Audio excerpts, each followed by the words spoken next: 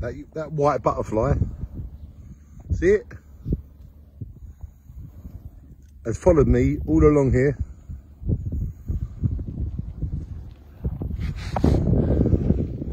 Me and my friend Butch walked along this seawall from the age of 12 years old until three years ago. We walked along here for over 30 years, me and Butch, and the amount of memories we had here. And for this white butterfly to be here right now, I think it's Butch. Look, see?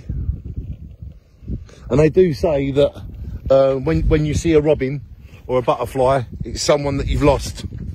And basically, this white butterfly to me is my brother Butch because me and Butch walked along here so much in our lives and I miss Butch. I really do miss him a lot. So this white butterfly, two now, look, there's my mum as well. Look at them.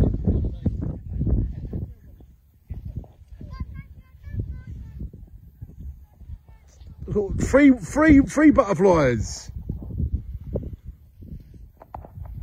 So there is now three white butterflies following me. And I do believe that they are for my brother Butch.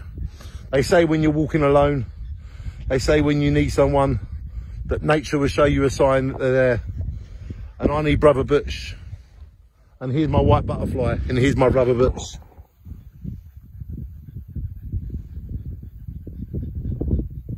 There's my brother Butch.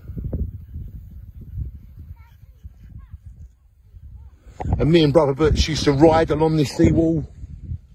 We've done so much, me and my brother Butch. And today he is here in a white butterfly. There he is, see him?